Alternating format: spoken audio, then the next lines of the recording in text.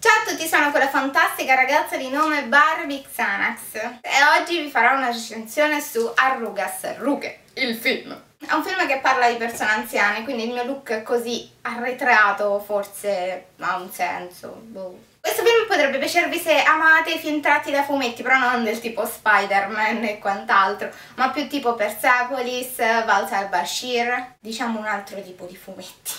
Ora ci sarà il cavillo sicuramente che chi dirà no, è graphic novel, pazienza, io non sono così formata sui fumetti, quindi se ho detto qualche cazzata, pazienza, correggetemi. Questo film parla di Emilio e Miguel, due anziani. Miguel è un anomalo cicerone all'interno di un ospizio. Inizialmente per Emilio quel luogo è il simbolo proprio della fine della vita, in realtà capirà che è un nuovo inizio. Ormai avete capito, faccio proprio schifo nel raccontare le trame, quindi io vi consiglio di non ascoltarle mai da me perché sono proprio incapace. Il film è tratto dalla graphic novel di Paco Roca, che nel 2008 ha vinto anche il premio nazionale di comics. Questo è il primo film d'animazione che vince nei premi Goya sia nella categoria proprio dei film d'animazione e sia eh, per la categoria miglior sceneggiatura dove stavano in competizione anche con eh, Almodovar. È un film pluripremiato, è già uscito all'estero, ovviamente in Italia c'è sempre quella arrancata finale, eh, sarà distribuito anche in Giappone dallo studio Ghibli insomma uno studio così che conoscono in tre persone al mondo. Questo film mi è piaciuto perché parla dell'Alzheimer con uno sguardo dall'interno, diciamo. Roca ha detto che il fumetto non è stata un'invenzione, il personaggio di Emilio è preso da un personaggio realmente esistito, che esiste ancora, non lo so se è morto o no, quindi non lo so.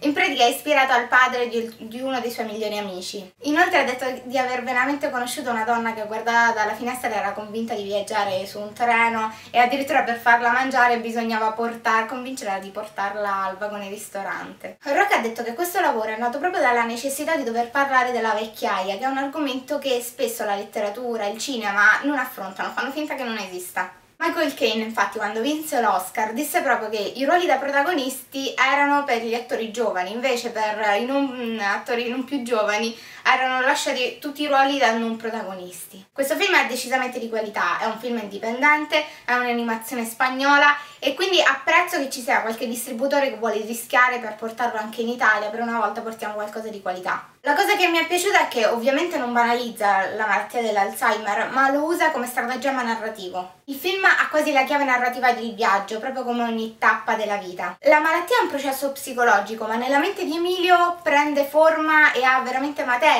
diventa materiale e alla stessa maniera confonde lo spettatore, perché concretizza i sintomi, li materializza.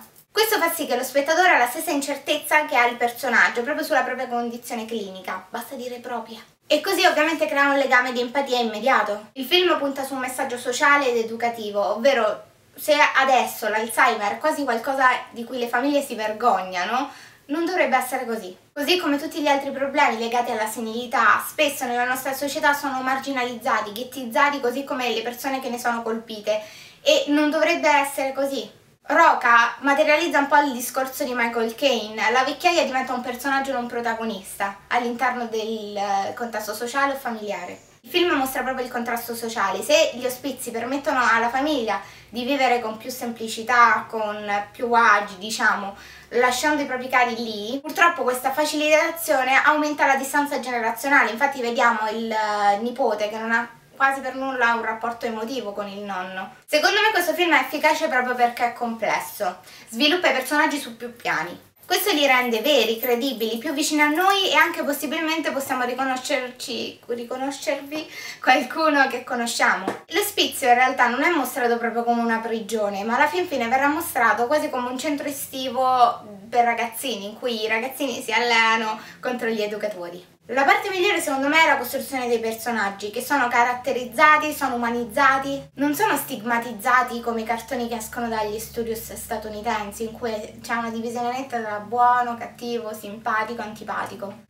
I personaggi di Emilio e di Miguel sono nettamente opposti e per questo costituiscono un perfetto incastro per diventare il fulcro della narrazione. Infatti, se notiamo, la gentilezza dell'uno corrisponde perfettamente a un aspetto burbero dell'altro. Il personaggio di Miguel, secondo me, è quello più interessante, ha un'evoluzione maggiore, decisamente netta all'interno dello sviluppo del film. Viene presentato in modo molto ambiguo, molto sospettoso. Il film inizia con un luogo comune del, dell'ospizio, ovvero visto come il capolineo della vita, dove eh, c'è dove la persona è un risultato ed è un fine, non può cambiare più, non può diventare più nel, nient'altro. E soprattutto la vecchia li è vista come qualcosa che accomuna tutti in modo uguale, che depersonalizza l'individuo. Poi ovviamente si scoprirà che non è così. Questo film parla delle malattie che colpiscono gli anziani, dell'amicizia, dei sentimenti e di come sia necessario trovare sempre dei traguardi per migliorarsi, per avere un obiettivo anche se si è in tarda età